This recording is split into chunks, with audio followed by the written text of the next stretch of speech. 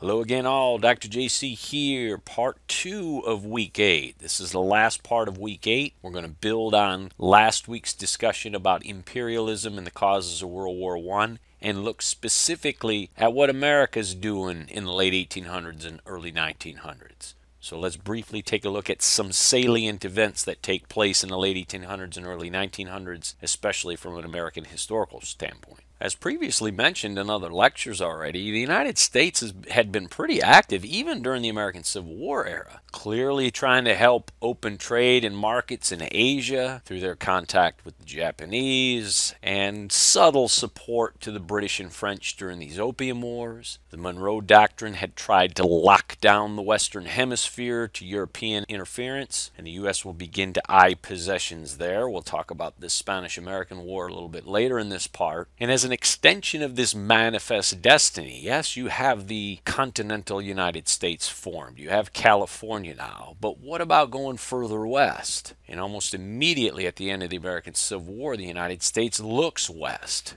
And we'll start with American expansion in the Pacific by talking about how America acquires Alaska. And then we'll move on to Hawaii from there. America's Secretary of State during the Lincoln years and the Civil War era was William Henry Seward. And in 1867, he negotiates a deal with the Russians to purchase Alaska for a whopping $7.2 million.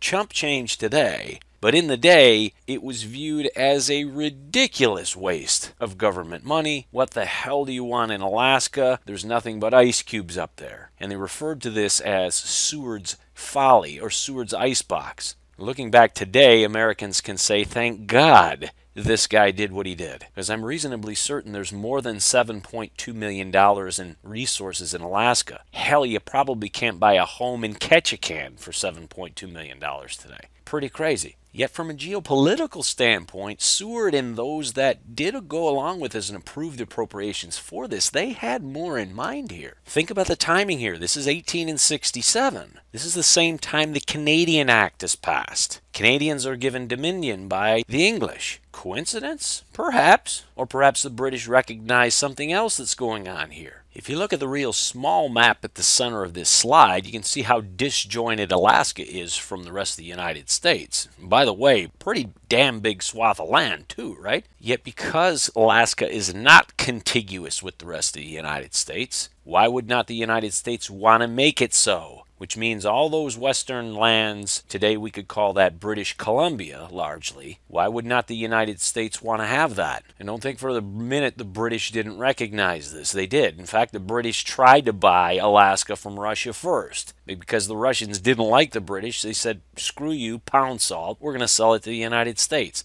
How do you like them frickin' apples? So perhaps part of the calculus for the English to provide Canadian dominion was as a way to limit American possessions in North America. After all, they've repeatedly tried to take Canada in the past. So by providing Canadian dominion, you allow these western lands to join Canada therefore depriving the United States of more land and resources. The British perspective aside, what Seward was able to do as well by purchasing Alaska from Russia was basically get Russians out of North America and off the North American continent. And a little sidebar for those that might do some traveling in Alaska. And by the way, you have to go. It's an unbelievably amazing place. Up in Haines, there's a Fort Seward. No coincidence, named after William Henry Seward. While not a big town, something to check out, especially if you're en route to Skagway or in that region. With Alaska firmly in hand, and if you take a look at this slide in the map in the upper left-hand corner, you can see Alaska shaded at the top. If you go due south from that, about the center of that graphic, there's a set of islands. It's called Hawaii.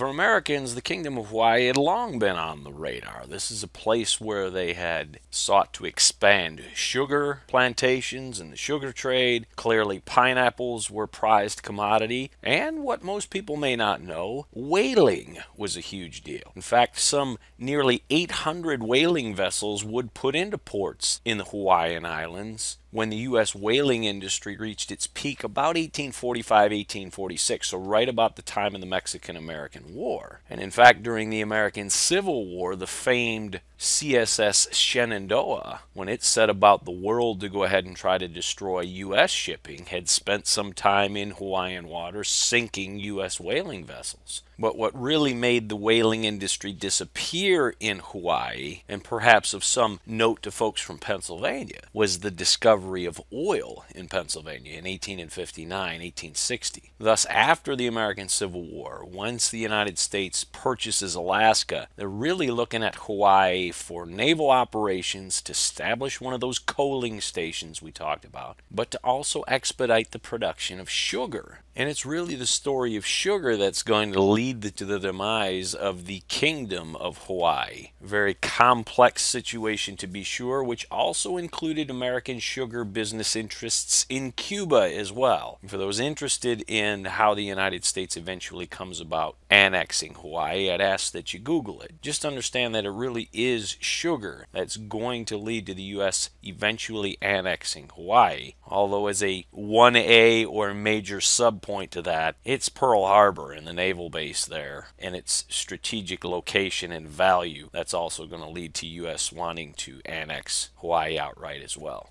And therefore, by 1898, the United States, pursuing this manifest destiny all the way halfway across the Pacific now, has Alaska to the north and Hawaii to the south. Question is, do you continue to go further west? The answer to that will be, why not?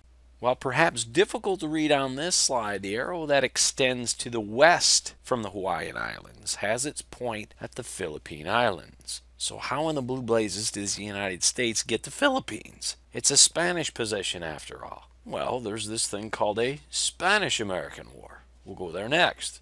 Look, as it relates to the Spanish American War and American interests in the Caribbean, especially Cuba, this is a 16 week project. I mean, hell, we can go back before the American Civil War, and there was talk about trying to annex Cuba and make it a slave state to help counterbalance the free states that were entering the Union in the North as a way to try to save the Union. So Americans had an interest in Cuba long before American business interests in sugar and mining take place in the area. And therefore, for those that are interested, I really would ask that you take some time to research. It's an interesting story to be sure. But for the sake of time and brevity here, I'm just, just going to give some basic background information as to the causes of this war and most importantly, what the Americans are going to pick up from the Spanish as a result of a victory in this Spanish-American War. So let's talk briefly about causes and then the results as well. Prior to getting into more of the causes specifically, I wanted to start with some ideology. And the ideology, in a way, could be considered a cause, rightfully so. But go all the way back to the Monroe Doctrine. The United States didn't want any Europeans in the entire hemisphere to begin with. And once they hear that the Cubans now are beginning to rise up, beginning to embrace Johann Gottfried Herder's sense of nationalism, get rid of the damn Spanish, we'll have our own place here. Couple that with growing American naval power, largely based on Mahanian naval theory, ever expanding American business interests in Cuba,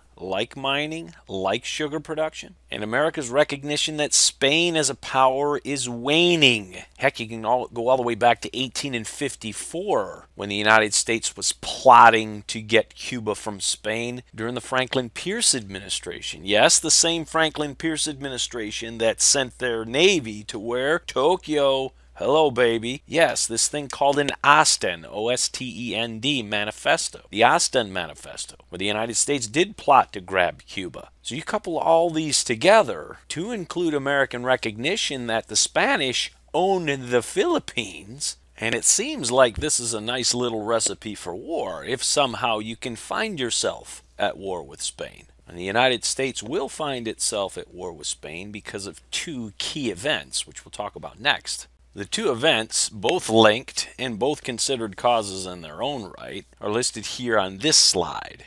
While many of you may be familiar with the USS Maine, remember the Maine, the explosion in Havana Harbor, and the tragedy that was that event that claimed some 260 Americans' lives, you might not know anything about this de Lôme letter that went with it.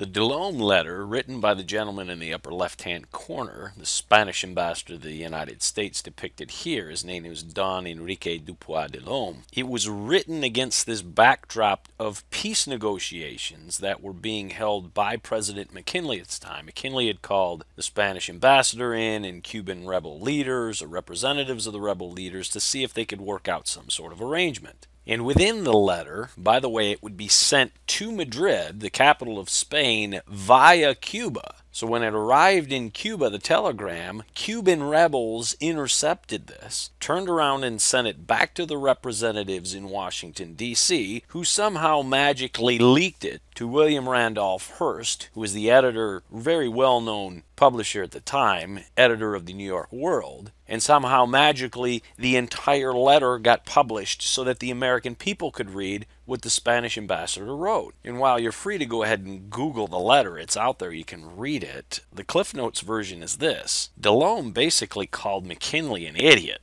It was a pretty disparaging letter to the President of the United States, and perhaps by extension the Oval Office itself, and perhaps by extension Americans writ large. And thus, once Americans began to read this, they started to say, you know what? Who the F are these Spanish? Screw these Spanish. You can see where this is going, right? So it starts to turn public sentiment against the Spanish and in favor of American interventionism in support of Cuba in their nationalist effort. So the de Lôme letter had a huge impact on America's collective psyche in saying, yeah, maybe this is a fight we should get ourselves involved in. If you've ever heard the expression weld them together while they're hot, well, that's going to be the case here as well as it relates to the USS Maine. Literally within a week of this de Lôme letter being published by Hearst in the New York World, they have another larger story. The USS Maine has exploded and 260 American lives are lost in freaking Havana Harbor you guys can almost imagine the wild speculation as to how this occurred, right? Must have been the damn Spanish. They already released this letter. Look at them. This is an insult. Blah, blah, blah, blah, blah. You could see where this is going.